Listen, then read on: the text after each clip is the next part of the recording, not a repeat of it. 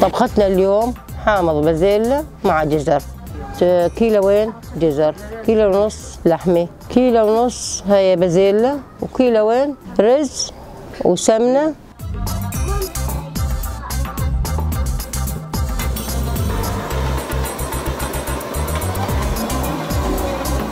هاي تنطبخ وتنفرم أول شي الجزر يتلوح شوي. وبعد ما تنسلق هاي البازيلا تنحط. وبكون اللحمة زاد مستوية كله نحطه مع بعضه.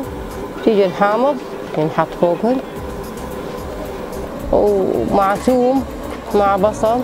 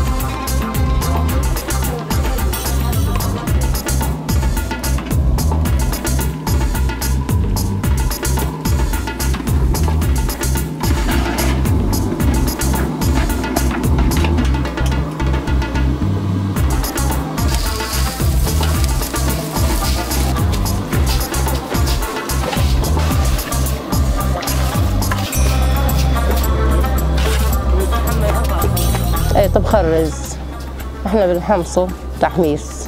يعني كيلوين كل إحنا بنحط كل كاس كاستين مي. اي ونحمصه نحمصه. بنحط المي فوقه وسمنة. وتصير طبخة جاهزة.